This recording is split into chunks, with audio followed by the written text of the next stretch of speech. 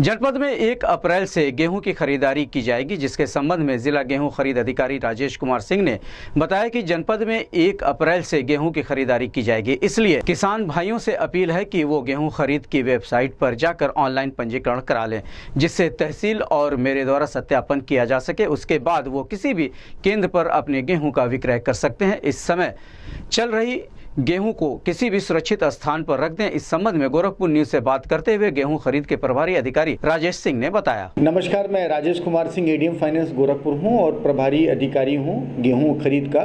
हमारे जनपद में गेहूँ खरीद एक अप्रैल से प्रारंभ हो जाएगी। मेरा किसान भाइयों से अनुरोध है कि वो जो हमारी गेहूँ खरीद की वेबसाइट है, उस पर जाकर के अपना ऑनलाइन पंजीकरण करा दें। पंजीकरण करा के तहसील और मेरे द्वारा उसका सत्यापन कर दिया जाएगा। तदुपरांत वो किसी भी केंद्र पर जाकर के अपना गेहूँ विक्रय कर सकते हैं।